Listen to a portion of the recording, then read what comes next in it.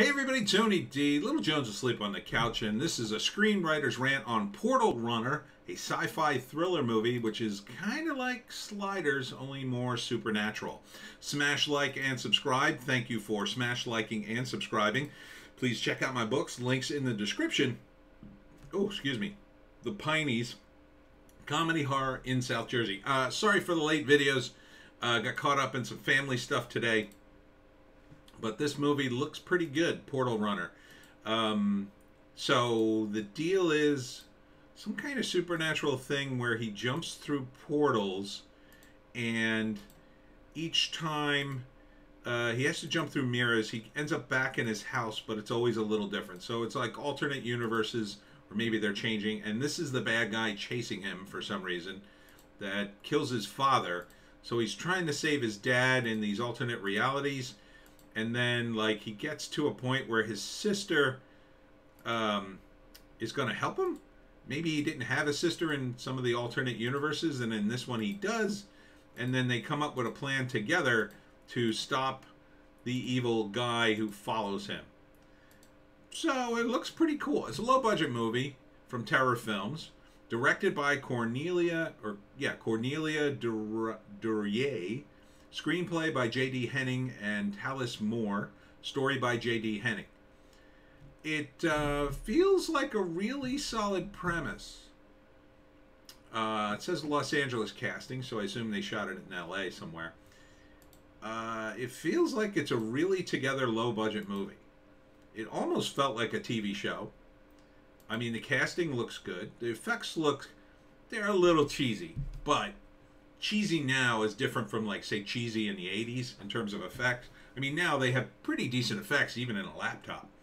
So, you know, if you can get past that, if you don't have to see like liquid metal coming out as he steps out of the mirror, eh, they're pretty good. Um, and it's, you know, very sort of basic sliders premise. So in other words, the whole movie is going to be in this house and it's going to be the same house over and over again, just slightly different each time. And he's going to keep stepping out of mirrors and finding his sister, and then this guy they set traps for him. So it looks like it could be fun. I mean, it looks it's got a lot of energy behind it. I really like the energy to it um, because a lot of times in these movies, especially a low budget movie, it feels like the characters are too important. The story is too important. It's too serious, and it doesn't feel like the characters have a life to them. You know what I mean? The only thing happening is the plot of the movie. Whereas in this, the characters, the actors feel like they have something to them. They have a skeleton, if you will.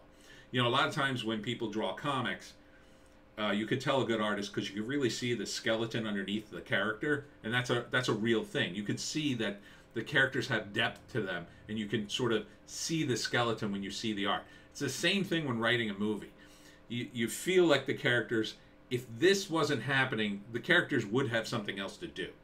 That's the skeleton characters need that are missing so many times from a movie. Oh it pains me. Pains me to watch. Um, and i keep mentioning it because i just watched it but the trip right?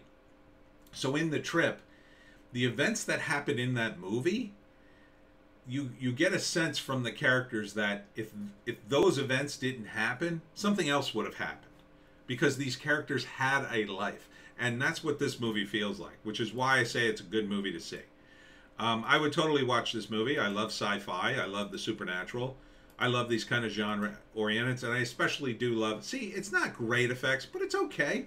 I mean, look, it, it's it's flush with the mirror, and he's going to step through it. No, it'll look cool enough. I'm perfectly fine with it. Look, in the 80s, it would have been that blue lightning from Ghostbusters, you know, painted on the movie afterwards. I'm totally down with this. Uh, it actually looks a little old, but is this movie playing anywhere online? Uh, let's see. Watch free full movies. Oh, an exclusive. Films. Film is now movie trailers. So maybe you can watch this for free already. This is 15 year old Nolan discovers a secreted family legacy and a portal that enables him to travel to parallel worlds. It's a young boy's dream come true until it becomes a nightmare and blah, blah, blah. Oh, and it's a Christmas movie too. Huh, interesting. So begins streaming and is available on demand. See, you should put this in the in the trailer, but it's available on demand December 10th. I would totally watch this. Oh, and they got merch already. Look at you guys. Okay, cool, cool. I'm down with it. It's called Portal Runner. Could have come up with a better name, but it's acceptable. Um, I think this will be entertaining, to say the least. Now, will it blow your doors off? I don't think so, but it feels like a movie they could make a TV show out of. It feels like a good version of Sliders. Look, I like Sliders. I like the premise more than I like the show. The execution was very wonky. You know, you'd have great episodes, and then episodes you'd be like, "What the f, man?" Uh, the characters would wildly different from episode to episode, um, but this I feel is has got a good consistency to it. It's got a good world. The first act, I guess he discovers portal hopping. Uh, second act, he, you know, gets realizes he can't get back to his own universe, maybe, and this guy's after him. And then the third act, they finally stop this guy from killing people, and he gets back to his own universe, maybe. Uh, or maybe he's trapped in the one with his sister. Maybe doesn't always have a sister. So there's a lot you could do with it. So it's called Portal Runner. I, I like the premise. So uh, I'll look for it December 10th. I'm going to give it a rare upvote. Not like I give it, I can give it a downvote, but who would care? And that's it for me, Tony D. Check us out on BitChute and Rumble. Me and Little Joan have two other videos, and we'll see you in the next one.